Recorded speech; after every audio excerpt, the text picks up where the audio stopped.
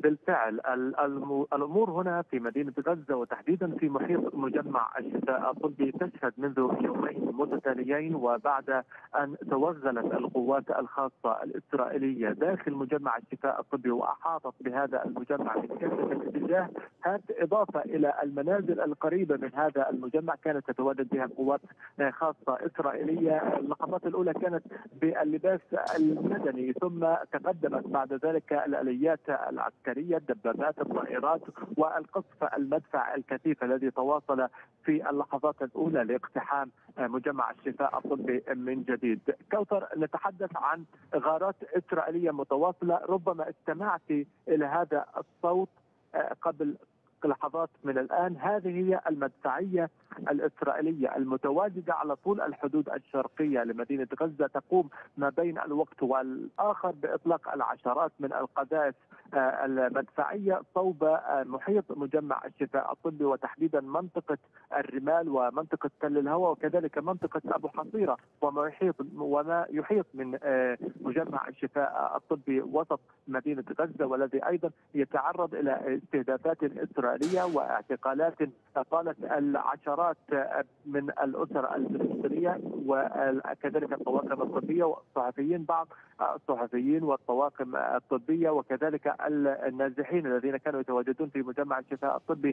قد أفرجت عنهم القوات الإسرائيلية بعد ساعات طويلة من التحقيقات التي أجريت داخل مجمع الشفاء الطبي وما سمح لبعض أو لبضعة عشرات من المواطنين من التك من داخل مراكز الاحتجاز التي تم إجراءها مؤخرا هنا في مدينة غزة وفي محيط مجمع الشفاء الطبي وتحديدا في أيضا ذلك هو بعض المنازل التي كانت تتواجد بها القوات الإسرائيلية. وصلوا مؤخرا إلى الحافظه الوسطى في دير البلح ومنطقه المواصله على طريق شارع الرشيد البحر، أيضا كوثر ننوه أن هناك عدد كبير من المنازل المحيطة لمجمع الشفاء الطبي قد تعرضت خلال الساعات الماضية والأربع والثمان والأربعين ساعة تحديدا إلى غارات إسرائيلية مكثفة. نتحدث عن عائلة مقبل الواقعه في منطقة اليرموك وسط مدينة غزة. كوثر نستمع في محيط الآن اعمد الدخان نشاهدها من أحياء الزيتون والشجاعية والصاعد من المناطق الغربية لمحيط طائرة حربية إسرائيلية تحلق.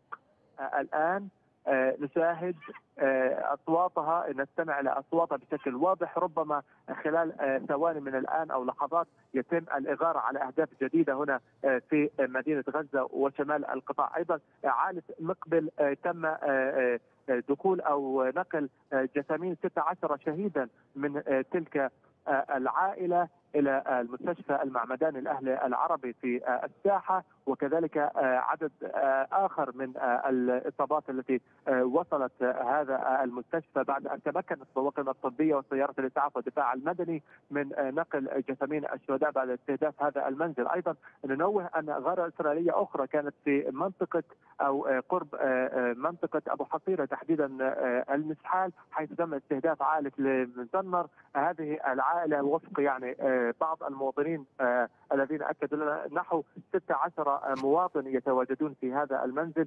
تم تدمير المنزل على من فيه ولا يمكن لأي أحد سواء من الطواقم الطبية من الوصول إلى تلك المنطقة. نتيجة آه، كوثر تواجد القوات الإسرائيلية في محيط مجمع الشفاء الطبي وكذلك وجود الطائرات الكواد كابتر التي تحلق بشكل واضح في تلك المنطقة. وأي آه، شخص يحاول الاقتراب من مفترق السرايا نستمع إلى أصوات جديدة من الانفجارات. لا أدري إن كنتم تستمعون لها ولكن هذا بعيده آه، نسبيا عن المنطقة التي أتواجد فيها لأن أنا أتواجد في المناطق الشرقية لاحياء الزيتون والشجاعية والمناطق التي تتعرض إلى استهدافات إسرائيلية مكثفة منذ بدء عملية التوغل وتواجد القوات الإسرائيلية في مجمع الشفاء الطبي وما يحيطه ومنطقة الرمال تتعرض حتى هذه اللحظة إلى غارات إسرائيلية آه، متواصلة ومتزامنة ما بين الوقت والآخر يرافقها القصف المدفعي الذي يستهدف تلك المناطق. هناك تحركات للقوات الإسرائيلية ما بين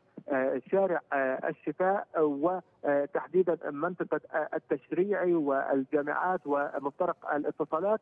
وأيضا تتمركز القوات الإسرائيلية وفق بعض المواطنين الذين تمكنوا من الهروب والخروج من تلك المناطق أو من المنازل المجاورة لتلك المناطق ووصلوا إلى المناطق الشرقية لمدينة غزة، أيضا خلال النصف ساعة الماضية كوثر شهدنا عدد من الطائرات الأباتشي وهي تحلق في محيط مجمع الشفاء الطبي قامت في البداية بإطلاق البالونات الحرارية ثم قامت بإطلاق الرصاص صوب تجمعات من المواطنين وربما أهداف في تلك المنطقة ثم رافقها قصف من قبل الأباتشي من صواريخ الأباتشي إضافة إلى الغارات الإسرائيلية. أيضا وفق يعني شهادات من الطواقم الطبية التي تواجدت انفجار جديد انفجار جديد في محيط مجمع الشفاء الطبي الآن. الانفجارات على مدار الساعة كوثر نسمعها بشكل واضح من كافة مدينة غزة والأطراف أطراف سواء الشرقية أو الغربية أو حتى الجنوبية طيب هل لديك معلومات بالنسبة للأهالي يعني من يحاول يعني الفرار من هذا الوضع القائم هناك؟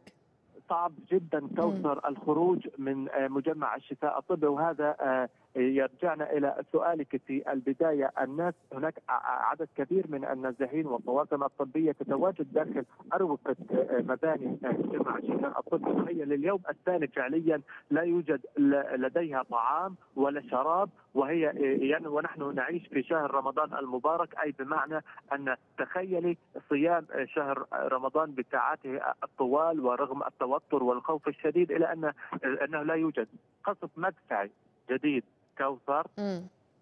لا أعلم إن كنتم تستمعون إلى هذه الأصوات. نعم. المدفعية الإسرائيلية تقوم بإطلاق القذائف ما بين الوقت والآخر. سنسمع خلال ثواني من الآن انفجار تلك القذيفة في. المناطق المحيطة لمجمع الشفاء الطبي. بالعودة إلى آلاف من النازحين. نتحدث عن يزيد كان يتواجد قبل الآن الانفجار في محيط مجمع الشفاء الطبي كما توقعنا. وتلك المنطقة التي تشهد استهدافات إسرائيلية متواصله وأيضا نشاهد حتى هذه اللحظة اعمال الدخان تتصاعد من المناطق الغربية لمحيط مجمع الشفاء. بالعودة إلى أكثر كان يتواجد قبل عملية التوغل الجديدة للقوات الإسرائيلية والآليات العسكرية الإسرائيلية داخل مجمع الشفاء الطبي كان هناك ما يقارب 25 ألف مواطن نازح داخل المجمع يرافقه عدد كبير من المرضى والجرحى وكان كل جريح هناك عدد من المرافقين لهذا الجريح. وأيضا كان هناك حتى الآن حتى الآن كوثر هناك جثامين شهداء ملقاة على الأرض. في آه، آه، مجمع الشفاء الطبي وكذلك عدد كبير منهم لا يمكن مواراته الثرى لأن القوات الاسرائيليه تمنع الطواقم الطبيه أو حتى المدنيين من دفن جثامين الشهداء التي تتواجد في تلك المنطقة، أيضا آه، كوثر في هذه الأثناء نستمع إلى أصوات إطلاق نار متقطع من الرشاشات الثقيلة والخفيفة في المناطق الغربية لمدينة غزه وتحديدا تتركز كل تلك الاستهدافات نعم. في محيط مجمع الشفاء الطبي والمناطق التي تحيطه نتحدث عن حي النصر تعرض إلى غارة إسرائيلية والمنازل عدة قد دمرت بعضها على رؤوس ساكنيها وتم نقل جثامين شهداء وجرحى إلى المستشفى المعمداني. ومنطقة الشيخ نعم، رضوان نعم كان هناك استهدافات لمنزل لمنازل من مواطنين وتم نقل آه، آه، هؤلاء الشهداء والإصابات إلى مستشفى كمال عدوان باعتباره آه، المساحة أو المسافة قريبة جدا. يعني تبعد شكرا. كثيرا عن المستشفى المعمداني. نعم شكرا جزيلا لك تامر دلول مراسلنا كنت معنا عبر الهاتف من مدينة